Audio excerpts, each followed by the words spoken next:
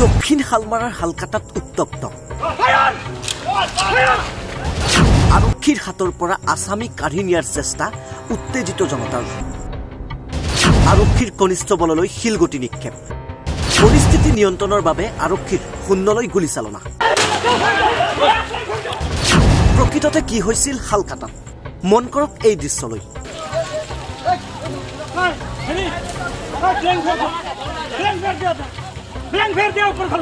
এজাক মানুহৰ ভিৰৰ মাজত আৰক্ষীয়ে এটা আছামীক কৰায়ত্ব কৰি আগুৱাইছে থানালৈ। পিছে পিছে হেজাৰ হেজাৰ জনতা। ইয়াৰ মাজতেই হঠাৎ আৰক্ষীয়ে শূন্যলৈ গুলীচালনা কৰিবলগীয়া হৈছে। হালকাটাৰ চীনাবাৰীত পঞ্চাছ বছৰীয়া স্বামী ছিদ্দিক আলী তেইছ বছৰীয়া পত্নী ৰাছিদা খাতুনক দাৰে ঘপিয়াই হত্যাৰ চেষ্টা কৰে।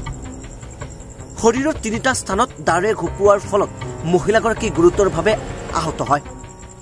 সংকটজনক অৱস্থাত মহিলাগৰাকীক ফকীৰগঞ্জ আদৰ্শ চিকিৎসালয়ত ভৰ্তি কৰা হয় যদিও অৱস্থা সংকটজনক হোৱা বাবে গুৱাহাটীলৈ প্ৰেৰণ কৰা হৈছে।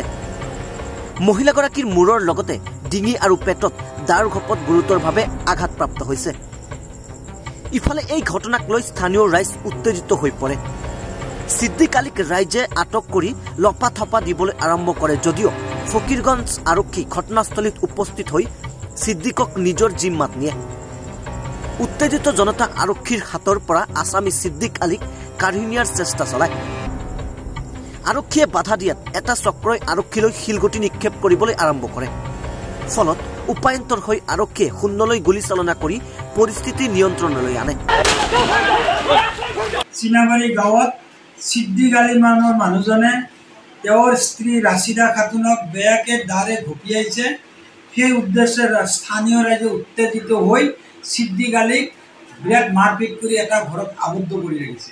মই দুজন বেটেলিয়ানৰ কনিষ্টবল মনোজ ভগত আৰু জমছেদ বসুমতাৰী হোমগাৰ্ড আব্দুল ৰাজাক আৰু কাদেৰ আলীক লগত লৈ দৌৰা দৌৰিকৈ টেম্পো গাড়ী লৈ মানুহজনক উদ্ধাৰ কৰিব গ'লোঁ। যাওঁতে প্ৰায় হাজাৰমান মানুহ মোক আগুৰি ধৰিলে মোৰ হাতৰ পৰা সেই ছিদ্দিক কাঢ়ি নিয়াৰ চেষ্টা কৰিলে। আৰু বেটেলিয়ানৰ কনিষ্টবলজনৰ গাত শিলগুটি দলিয়ালে ঠেলা হেঁচা কৰিলে আৰু চেণ্ডেলো দলিয়ালে তেতিয়া মই ব্লেংক ফায়াৰ কৰিবলৈ বাধ্য হ'লোঁ। নহ'লে মানুহজনক কাঢ়ি নি তেওঁলোকে নিজে মৰেল পুলিচ হ'ল হয় আৰু মাৰি পেলালে। মন কৰিবলগীয়া যে উত্তেজিত জনতাৰ লপাথপাত ছিদ্দিক আলীও গুৰুতৰভাৱে আহত হৈছে। ইতিমধ্যে আৰক্ষীয়ে ছিদ্দিক আলীক কটকটীয়া নিৰাপত্তাৰ মাজত গোৱালপাৰালৈ উন্নত চিকিৎসাৰ বাবে প্ৰেৰণ কৰিছে। পঞ্চাছ বছৰীয়া ছিদ্দিক আলীৰ তেইছ বছৰীয়া পত্নীক পৰকীয় প্ৰেমৰ সন্দেহত এইদৰে হত্যাৰ চেষ্টা কৰা বুলি আৰক্ষীৰ সূত্ৰে জানিব পৰা গৈছে। বিভিন্ন অপৰাধৰ লগত জড়িত ছিদ্দিক আলী নিচাজাতীয় দ্ৰব্য সেৱন কৰাৰ লগতে মদ্যপান কৰাৰো অভিযোগ উত্থাপন হৈছে। Bureau report M news.